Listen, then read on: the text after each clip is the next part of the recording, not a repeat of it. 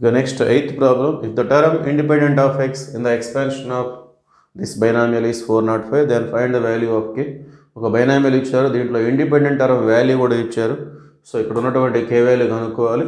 So ముందుగా మన బైనామియల్ని మనం దీంతో కంపేర్ చేసుకుందాం. A x power p plus b by x power q whole power n okay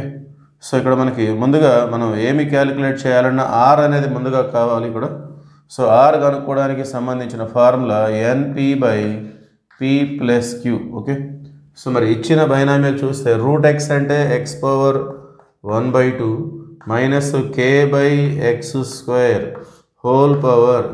ten okay so compare చేసుకుంటే x power one by two x power p so p is equal to one by two అట్లానే డినామినేటర్లో X square ఇక్కడ x power q so q అనేది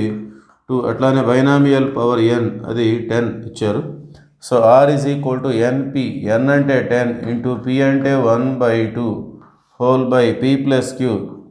one by two plus two okay so two one జా two five జా so న్యూమరేటర్లో five by one by two plus two అంటే మళ్ళీ five by two వచ్చేస్తుంది. ఓకే ఫైవ్ ఫైవ్ క్యాన్సిల్ అయిపోతే two goes to numerator therefore r is equal to two therefore independent term is equal to four naught five so అది TR plus one is equal to four naught five independent term is the general term TR plus one so r value two T two plus one that is equal to four naught five మరి tea two plus one అంటే మనకు formula ఎలా వస్తుందంటే మామూలుగా formula NCR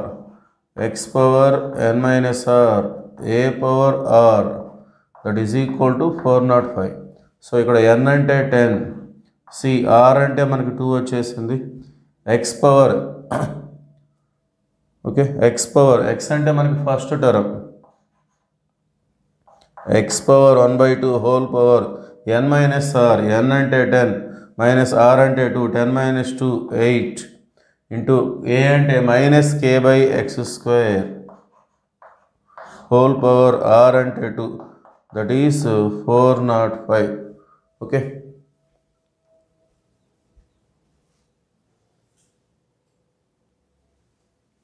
okay continuation ten C two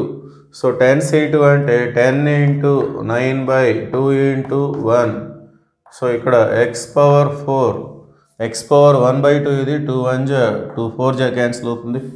X power four into k square by x power four x power four x power four cancel that is equal to four naught five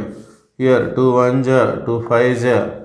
okay k square is equal to four naught five ఇది forty five five nine జా right side వస్తే by అవుతుంది. Okay five nine జా five eight జా five one జా okay so nine one జా nine nine జా k square is equal to nine therefore k is equal to plus or minus three therefore option three is the right answer